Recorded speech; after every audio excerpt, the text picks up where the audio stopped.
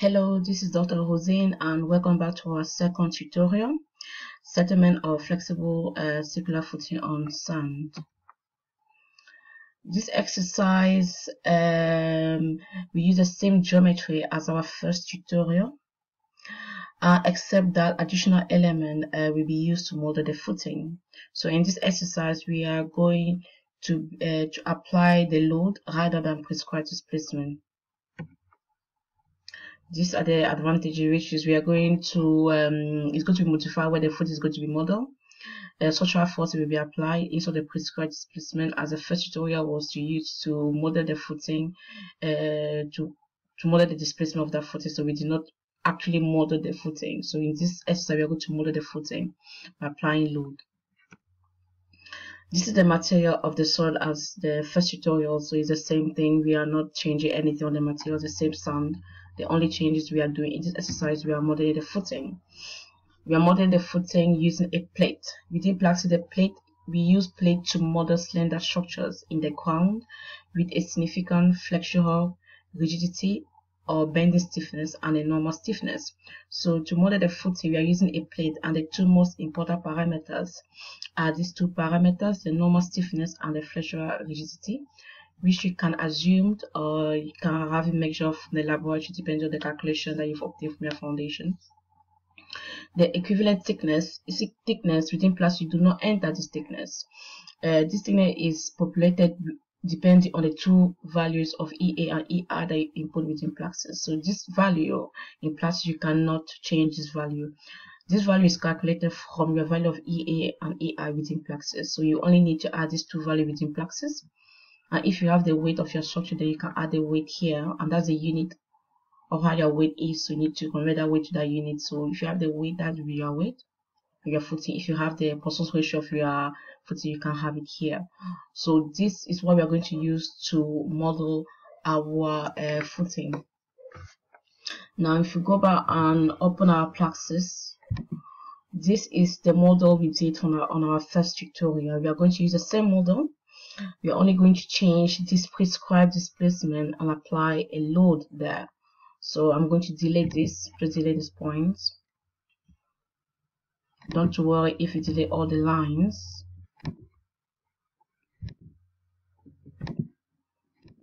Yeah so you can just redraw the line. That's absolutely fine. Like so I click to come off. Now you can see that I've deleted this line which went out with the standard uh, fixity which is the boundary. So I just go back to here. Standard fixity, it just applied that back again onto side.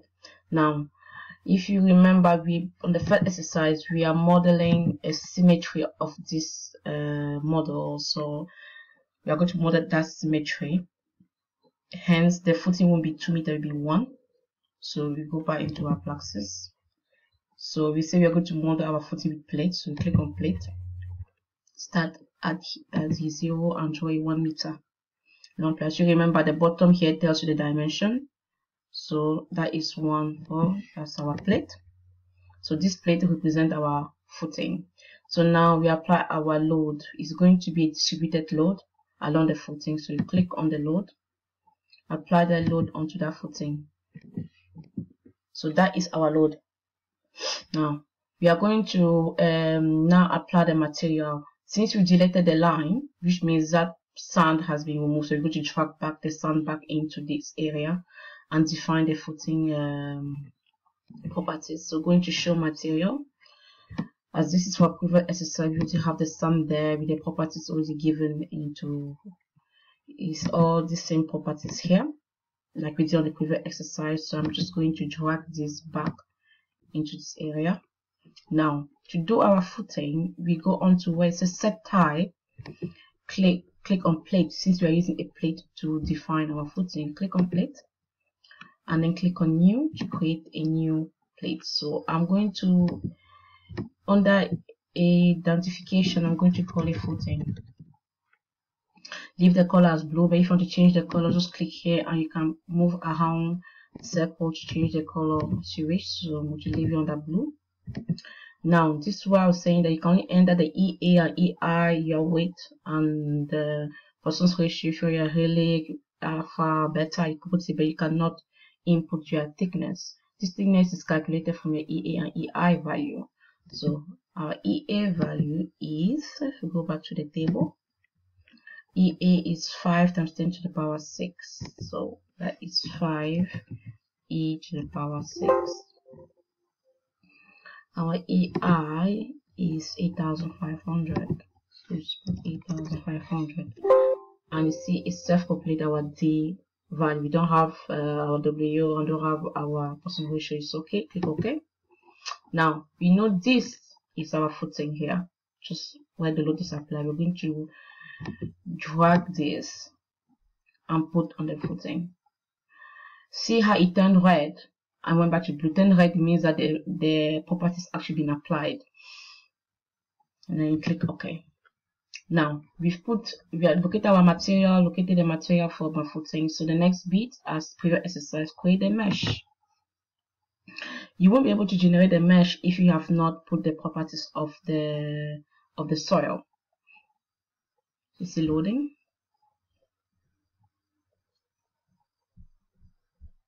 So this is our mesh. Now you just click on close. So this is the coarse one.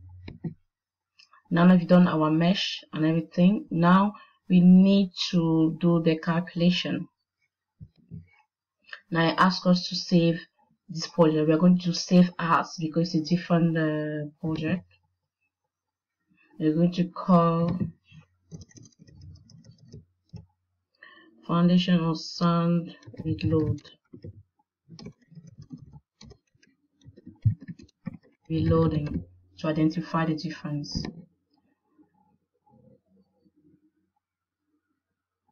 Now our calculation tab comes up. Uh, pop-up message comes just click ok. It's going to be we're going to follow exactly the same process as the first exercise. All we change is this exercise we apply the load uh, if you remember on the calculation, the first exercise, we went to calculation under the second phase, we activated the um, display, the prescribed displacement and applied a value for a prescribed displacement. We do exactly the same in this exercise where we are going to activate the footing and apply a load. So if you this is the same as the previous um, exercise, it just came automatically. So the initial is initial, so that's zero. The second phase is plastic under staged construction. The number of days is not inputted here. So if you have the number of days, like if I'm saying consolidation test, I'm doing that one day, I'll put the one day there, which is my time uh, interval. But for this case, we don't have any time, just leave it as zero. So if you look at the top here, it gives you the phase. You want to log information here, you don't need to add anything here. Basically, when the calculation complete, it tells you, okay, if it's completed correctly. But if the calculation did not complete for some reason, it will add the information here as to why it failed. Here it gives you the calculation type, uh, plastic you can change depending on what you're doing. The consolidation test you can take as consolidation. These are uh, tabs for this parameter at the top. So you want to go to parameter, advanced or comment. So I can just click on the parameters on the com here. Everything here stays constant. We don't have any time interval. The additional step was 500 from the last um, exercise we did was two, the default value is 250. If you remember on the first uh, tutorial, I increased it to 500 because the, the maximum additional step were not reached, which means the calculation could not complete. So I increased it to 500 to give more steps for Plaxis to calculate the model. Uh, leave the reset displacement uh, as it is ticked to zero. The most important bit now is to start, you need to go and define what you want Plaxis to calculate under this phase.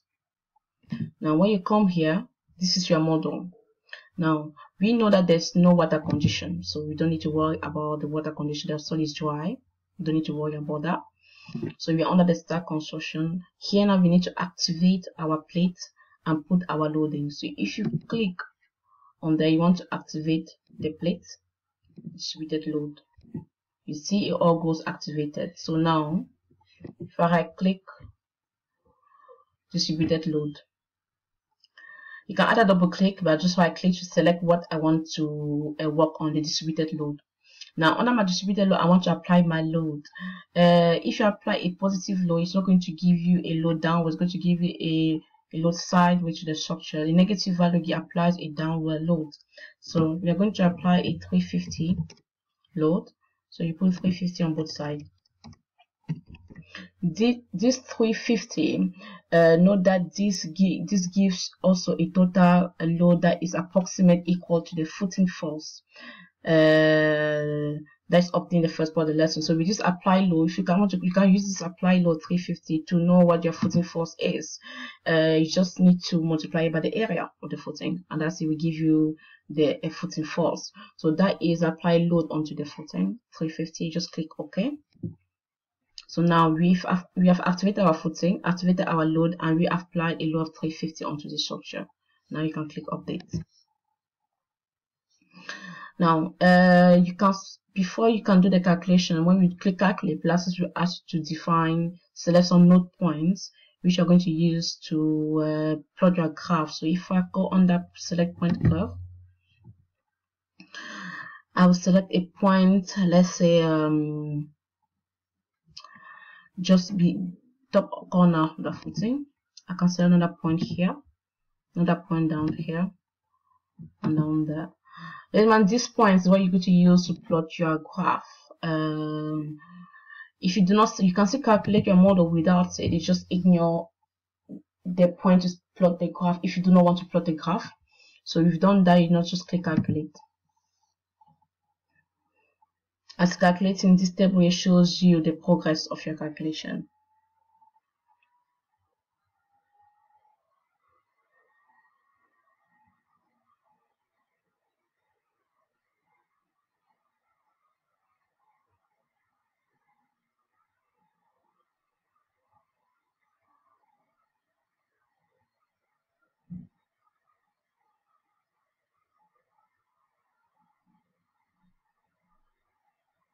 Now, I believe will be the same reason as the first exercise. The load advancement position fails. So what I'm going to do is is increase this our maximum to 500 and recalculate it. Because the first exercise failed because uh, it was not reached, so add the load.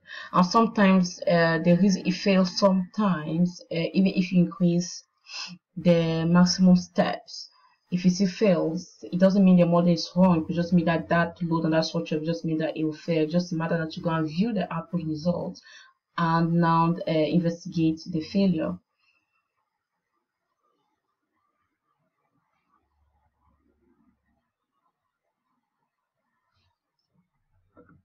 Now if it still failed, so see the load advancement fails. So this could just be of number of, of reasons. That means the load price could just be high or the maximum step is high everything. So let's just view the result and see what it looks like.